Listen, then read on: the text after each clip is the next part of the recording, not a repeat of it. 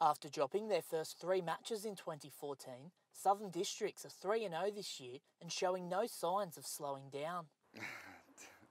Much nicer.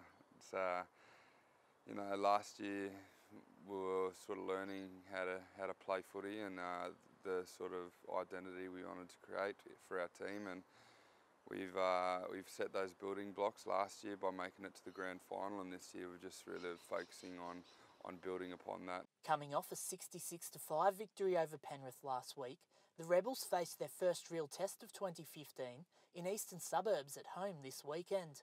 East will be a really good test for us because uh, they've got a big physical forward pack and they've got skillful backs as well. Whilst East knocked off Sydney Uni and Barrel a fortnight ago and fell just short against Manly last week, Holloway says his side is focused on their own performance. Mate, we just got to keep on building on what we're doing and, and, and set our standard around our defence, and that's our real platform and playing with good width off, off Benny and off, off the vet Roos. The Rebels have averaged 42 points a match so far this season and will be out to entertain the foreshore faithful with dry conditions forecast for Saturday. Yeah, definitely, but I think if we're going to aim to do that, we've got to do the hard yards first and we've got to be willing to work hard. So so we've definitely made that statement early in the week about, about working hard for one another and, and we know if we do that we will be able to get the ball into the hands of the likes of Gibbo, Paulie, Matt Teki who's really stood up for us over the first couple of weeks as well. Despite the strong start to the year, last year's grand final loss is still fresh in the players' minds. And that's uh, probably the main thing that's changed last year from this year to last year is where